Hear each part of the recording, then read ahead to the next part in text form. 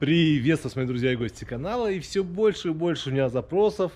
Многие хотят домик. И знаете, у меня тоже есть такой клиент с э, Новокузнецка. Он говорит, Макс, дом без гаража – это долбанное извращение. И я с ним соглашусь, ну, реально согласен. Иногда гараж хочется, да, например, там, купил, купил себе водный мотоцикл, купил себе например, квадроцикл в конце концов, или просто обычный мотоцикл. Представляете себе, в Сочи можно на мотоцикле кататься 360 дней в году. Давайте посмотрим с вами интересный домик. По традиции, я сейчас вам сразу озвучу цену и озвучу метраж. Площадь дома 350 квадратных метров. Находится этот домик в коттеджном поселке, высота 11,22.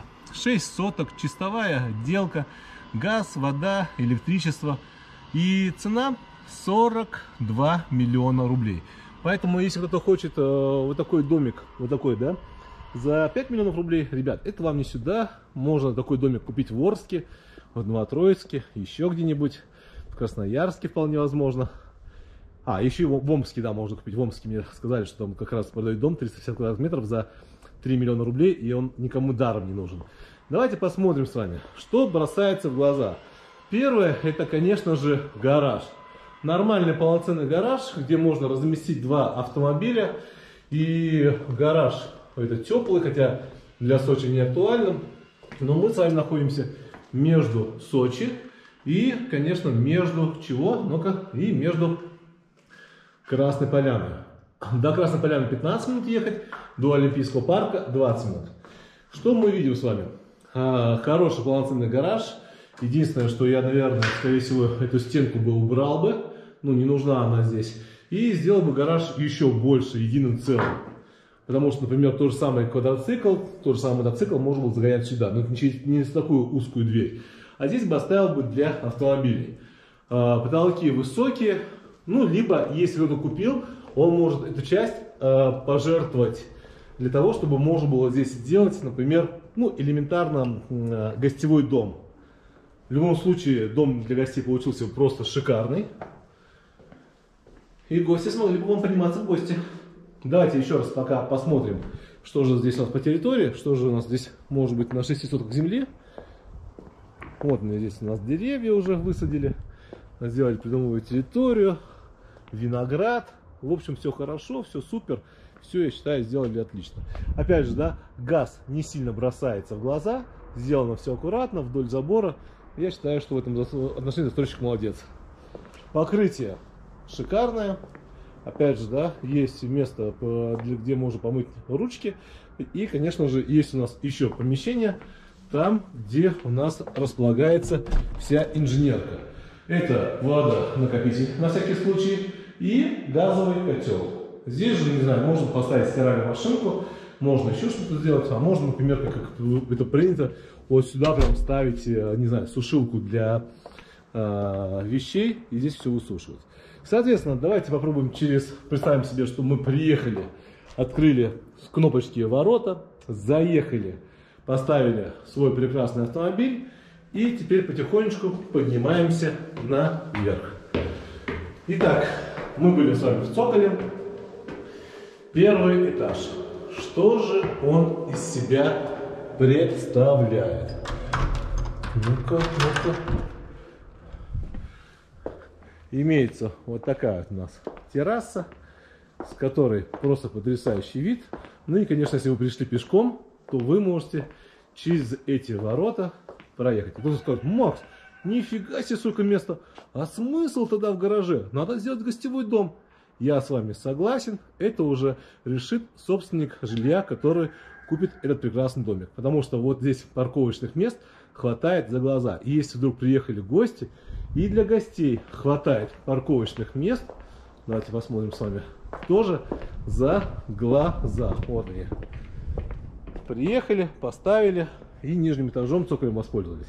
Ну а мы давайте потихонечку воспользуемся гостеприимством и посмотрим, что же здесь такого интересного у нас имеется. А, понятно, что это у нас санузел, гостевой, а, входная группа, хорошие широкие двери, потому что я понимаю, что покупая данный дом, скорее всего, сюда будут завозить просто огромнейшие диваны и так далее. И чтобы все это могло было сюда занести, вы воспользуйтесь вот этими дверьми. Холл большой, здесь же можно поставить э, шкаф. С правой стороны комната для мамы, для вашей, сто процентов для ее, для нее, и она останется довольна. Ну и здесь мы попадаем с вами в какую-то зону кухни, да, она небольшая. Я вот согласен, она небольшая, но многие в таких домах им не нужна большая кухня. И вот здесь мы попадаем в зону столовой, гостиной. Столовой, гостиной. Светлая, шикарная, с высокими потолками, с хорошим видом, с хорошими окнами.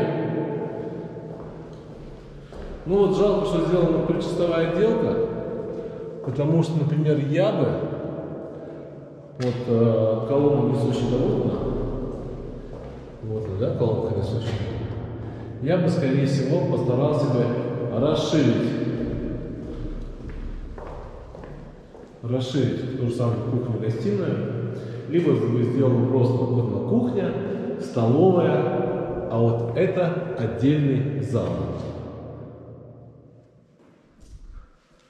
Кухня, столовая, зал.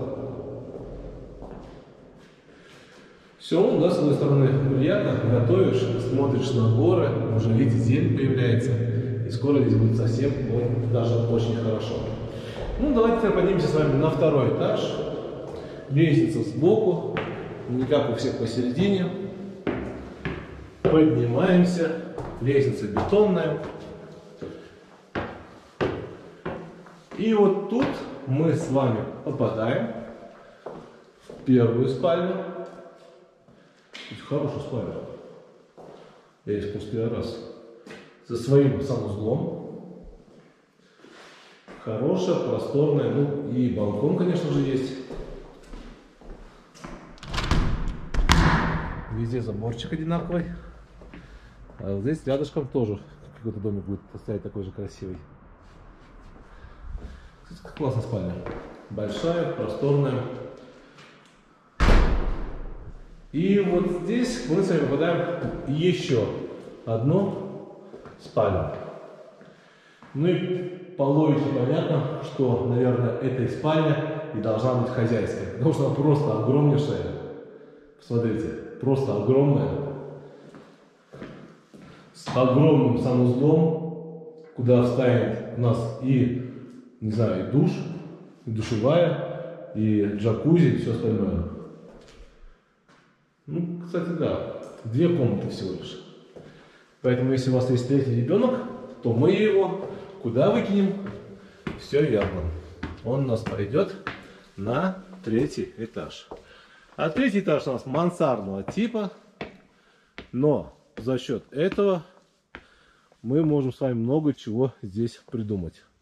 Ну, во-первых, да, Максим умный, он сначала попробовал много наступить. Можно здесь сделать полноценные спальни, как минимум две одна, вторая. Можно сделать одну спальню, можно сделать место, где можно поиграть бильярд. Можете сделать все, что угодно. В целом площадь здесь, кстати, хорошая. Мне даже крыша понравилась здесь больше, чем на предыдущем доме. Здесь же вот можно сделать санузел. Вот. Все что угодно можно сделать. Нет, прикольно. Прикольно, хорошо и комфортно много чего здесь можно сделать. Мне лично здесь нравится. Да, если вдруг вам не хватает спальни, то я думаю, что есть прекрасная возможность сделать две детские комнаты наверху, и ваши детишки будут довольны. Притом здесь можно им сделать и гардеробную, здесь же можно сделать им санузел. В общем, можно сделать все, что угодно. Вот это основание здесь бетонное. Ну и в целом, посмотрите, ну хорошо сделано. Не, при, не прикопаться, не придраться. По итогу, что мы с вами имеем? Имеем домик хорошей, полноценной кухней-столовой, залом. Давайте я еще раз здесь посмотрю, Что у нас здесь сделано и как. Еще раз просто хочу немножко подумать, пофантазировать, что здесь можно было сделать.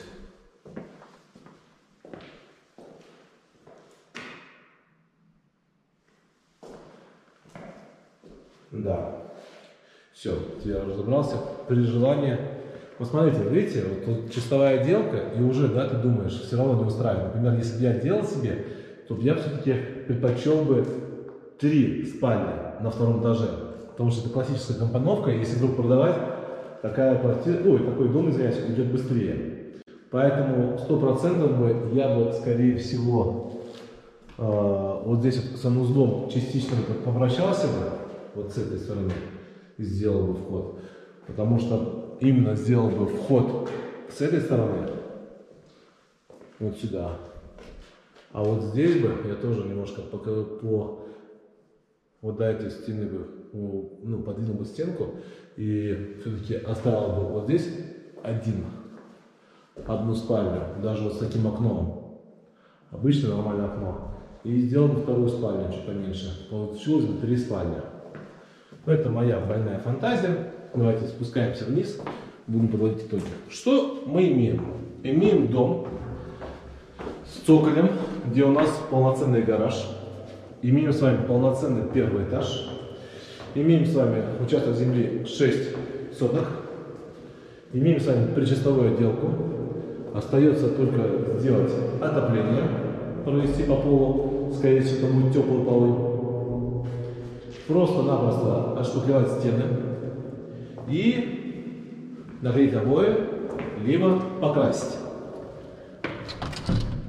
Электрика вся сделана, самое главное. И по времени займет это ни много ни мало, наверное, месяца полтора. Потому что все-таки стяжки надо будет высохнуть. Если сделать, э, начать делать ремонт именно с отопления, то будет все хорошо и комфортно. По итогу такой красивый домик. Интересный домик. И знаете что я вам скажу?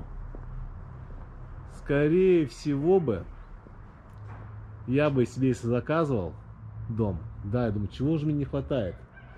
Вот эта комната особо не нужна была бы. И я бы убрал бы вот здесь монолит над всей этой комнатой. И лучше бы себе оставил второй свет, ребят. Вот, думаю, что же мне не хватает?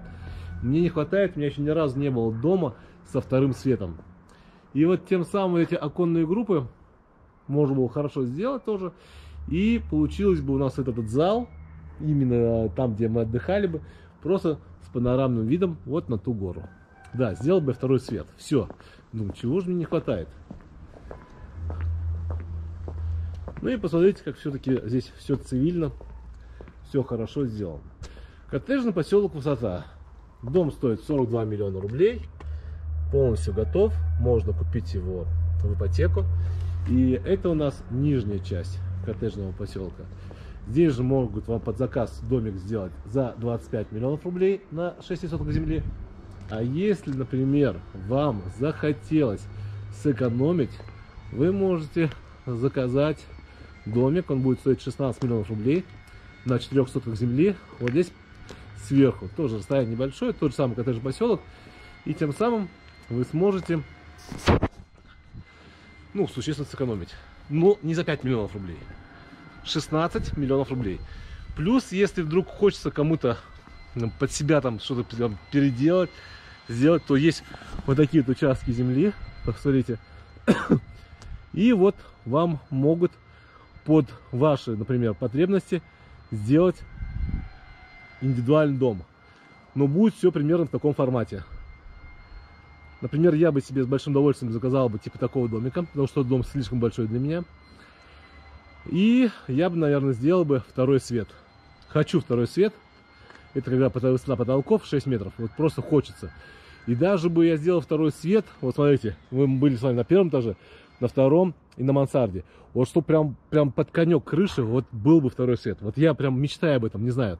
Есть такая у меня сейчас э, мечта такая, фанатичная вот эта, настроен и все я бы сделал именно так. Поэтому, если хочется сэкономить, э, если хочется ну, немножечко подождать, там буквально полгода, то обращаемся. С большим удовольствием помогу осуществить вашу мечту. Находимся мы с вами э, в районе Монастырь, между Красной Поляной и Олимпийским парком. Рядышком с федеральной дорогой вот она идет. Вот она идет дорога. И действительно здесь круто все. А теперь, ребят, всем пока и спасибо за просмотр. Извиняюсь, концовочку я не сделал. Давайте все-таки посмотрим. У нас проект. И вот мы видим с вами. Здесь есть все. Распланированные участки, коттеджи. Можно посмотреть, где какая площадь. Минимальная площадь коттеджа номер 3. Соответственно, это 110 квадратных метров жилой площади, общая площадь 157 и остальные уже побольше. Поэтому место действительно интересное, но не дешевое. Поэтому, ребят, если вдруг хочется закрытый коттеджный поселок, хочется одинаково быстро добираться и до моря, и до Красной Поляны, я рекомендую вам присмотреться к данному коттеджному поселку. А теперь всем пока и спасибо за просмотр.